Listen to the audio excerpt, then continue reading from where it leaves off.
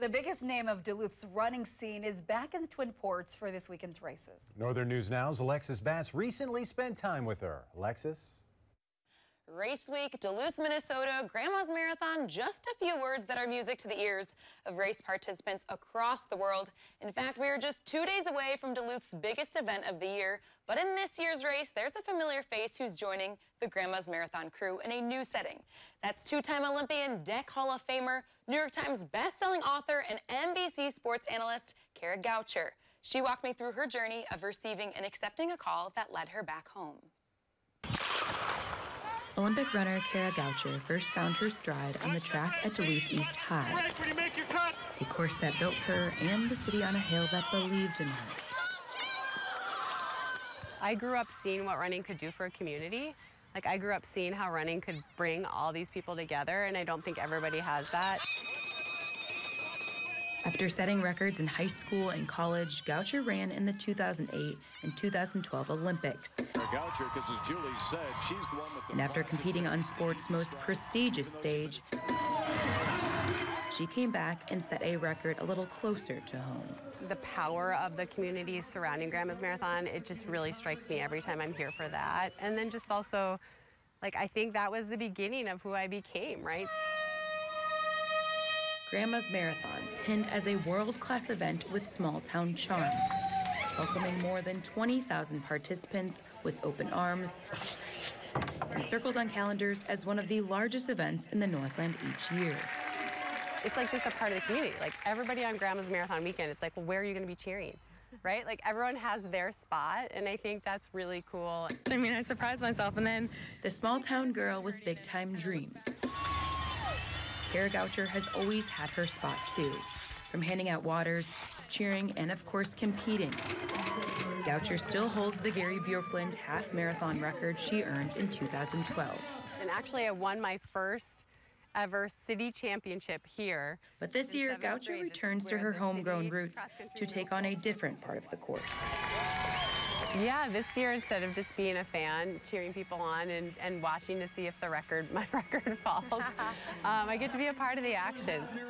Do you remember the moment that you got a phone call from Grandma's Marathon saying, hey, we need you on the call? Yeah, yep. Zach Schneider actually reached out and I was like, well, I doubt it's going to work. It's usually the same working as a weekend as USA's. And then I remember writing back and being like, I don't know if you're still interested in me helping, mm-hmm. but it's not a conflict. So Just another addition to Goucher's rich resume, joining the uh, Grandma's Marathon broadcast team for the first time. But it will not be her first time taking on an assignment like this.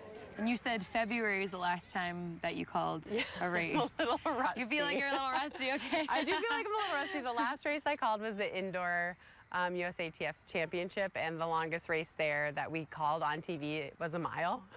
so this is a little different, but also this is the event I know so well, and this is the event that was my baby. So i will be able to transition, I think, pretty well into marathoning. Just as a racetrack takes you in circles, for Goucher, life has had a wonderful way of coming full circle for her, too. Calling this year's Grandma's Marathon with people who have been alongside her from the start. I mean, Carrie Tollefson and I raced each other from the moment I started racing. She is a broadcaster, so I see her all the time. And then Chad Somala is the person who basically taught me how to ski. And of course, Dick Beardsley is just a legend. The decision for Goucher to hang up her racing shoes was no easy one. She was diagnosed with dystonia in 2021, a rare neurological movement disorder that takes away control from her body when racing. But she stayed the course, on pace for this new adventure with dreams of setting the pace for the next generation of young athletes along the way. But if you could tell the people that are now here running this track at Duluth East as a Greyhound, um, who have the roots of Duluth, that have big dreams like you do too, what would you tell them? Well, no dream is too big. I really believe that. Like, if I can make it, anyone can make it. But you're from this amazing community that's going to support you, whether you get to the top or not. You can bet there's no distance Goucher won't go if it means witnessing more dreams come to life right beside the shores of Lake Superior, always answering the call for the place that started it all. When I asked Goucher what is next for her, she said while she will never race again, the one thing that she has not done yet that she dreams of doing is coaching at the high school level. But for now, she also plans to lend her voice for the 2024 Paris Olympics for Team USA on NBC Sports. Thank you, Alexis. Tomorrow, Goucher will be selling and signing copies of her New York Times best-selling book, The Longest Race. For more information, head to northernnewsnow.com.